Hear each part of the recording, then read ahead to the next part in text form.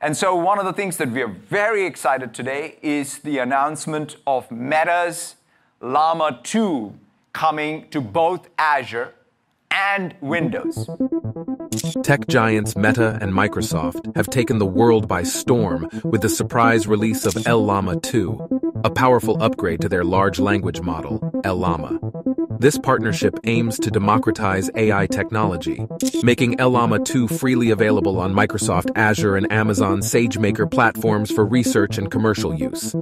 Llama 2 boasts impressive enhancements, leveraging 40% more pre-trained data and GQA, generalized question answering, to achieve superior inference capabilities. Its 7B, 13B, and 70B parameter models open up a world of possibilities for developers and organizations to create cutting-edge AI-powered tools and experiences. The new model's performance has been compared to other prominent language models in the market. In coding and mathematics, Anthropic's Claude 2 takes the lead with its remarkable score on the Codex HumanEval, while Llama 2 shines in writing with a unique poetic flair. ChatGPT, once a favorite among users, witnessed a decline in June, but Llama 2's open source approach and detailed research paper are winning over enthusiasts. Now, Satya also announced that we've optimized the Llama 2 models to run on Windows. There's been amazing advances in Windows hardware in the last few years, with better GPUs and now NPUs unlocking the power to run models locally. When you couple that computing power with the utility of the Windows terminal and the Windows subsystem for Linux, things like local support for container-based development and great tools like VS Code and advanced AI tools like the ONNX Runtime, you have a fantastic place to do AI development locally.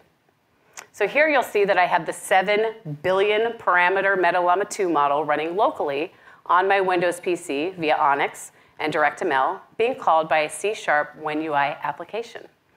As you can see, the model easily generates a very detailed reply.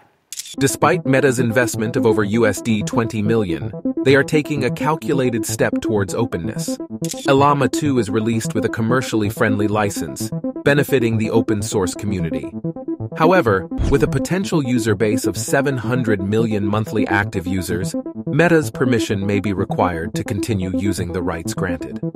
Meta's move to partner with Microsoft after a decade-long collaboration with OpenAI is raising eyebrows in the tech world. While Llama, the 2nd of May, not be on par with GPT-4 in all aspects, it poses a significant threat to OpenAI's dominance, earning accolades from researchers and tech enthusiasts alike.